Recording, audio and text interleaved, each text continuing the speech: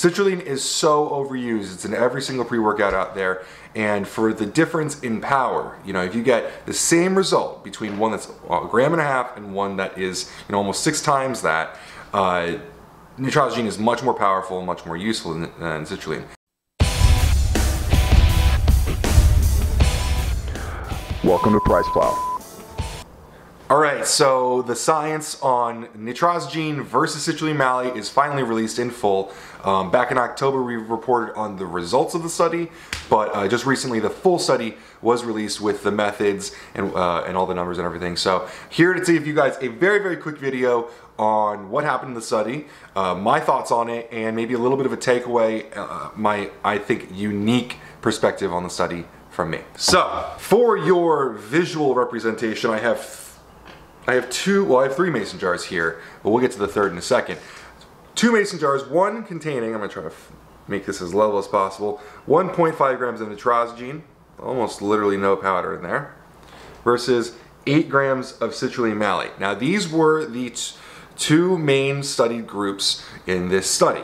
1.5 grams of nitrosigine, arginine, silicate, and inositol, versus uh, two to one ratio, citrulline malate, obviously not bonded. We've talked about that a lot. I'm not going to get into too much here, but uh, it was just citrulline mixed with malic acid, which is six grams of citrulline to two grams of malic acid. What were the results? So they had uh, 24 individuals in the study. There were 16 men, eight women. Uh, they were all dosed out, I believe, three times and there was a group for nitrosigine, a group for citrulline malate, and a group for a uh, dextrose placebo. And when studied, uh, they, they, measured their vasodilation uh, through flow-mediated dilation. Well, we're going to short, shorten that to FMD for today. Uh, through FMD, they found that the nitrosigine group had a 23% increase, uh, 20, 25% for citrulline malate, so a slight increase but negligible in the whole scheme of things. And the dextrose group obviously had, I think, 0.1% increase. So they scaled that for the supplement times the time related. They scaled that somehow, but uh, that, that's the numbers that were reported. So 23 to 25%.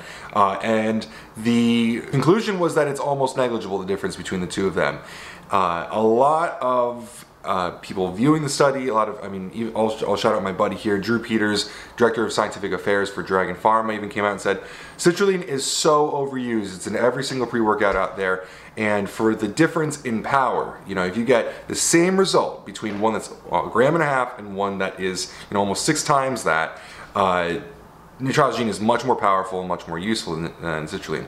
And uh, that is true. I mean, in my opinion, I can agree with that. It's definitely more powerful gram for gram. We can definitely say that. Uh, I'm going to kind of uh, uh, say on my own unique perspective, though, I'm a little disappointed that we didn't have a group that combined the two because I want to know at what point when we combine these things are they not linear anymore.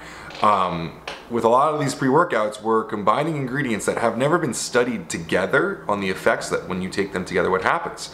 So um, I'm a little bit disappointed in what happened with that, that we don't really know, hey, well, they both do the same thing, the same amount, but if we put them together, is it two plus two equals four, or are we getting three out of this because they're the same, you know, actual uh, effect on vasodilation? So anyway, for, but food for thought here, I also wanted to pull out uh, a gram and a half of nitrosigine again, um, but I talked about how citrulline malate and that was a two to one ratio with malic acid. This is actually really what was the active ingredient in there, six grams of citrulline um, as compared to the eight grams of citrulline malate.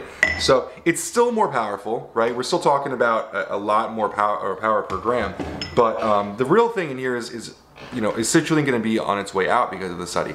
I don't really necessarily think so. I think that citrulline is just way too recognizable for consumers. Uh, anyone who's into supplements at a base level knows that citrulline causes pumps. Nitrosigine is still on its way up. It's been around for a little bit. Um, it's personally my favorite pump ingredient because it's like this study shows. You don't need a lot of it to get a good result and it also lasts a long time. If you want to check out my podcast with David Sandler, we talk about the recovery benefits of it post-workout because it continues to increase blood flow, um, which is another ad advantage of it over citrulline is the long-term effect of it.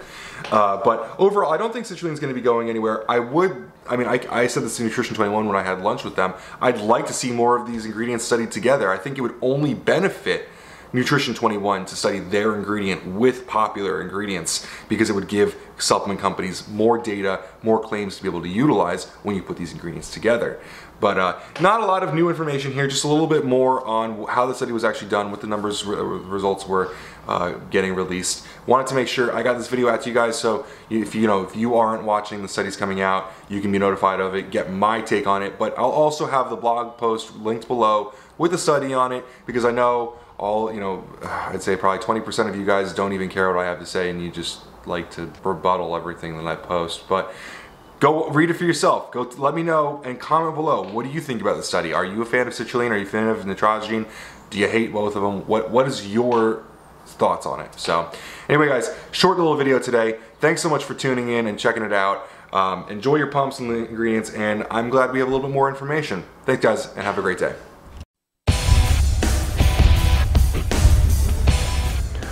Welcome to Price Plow.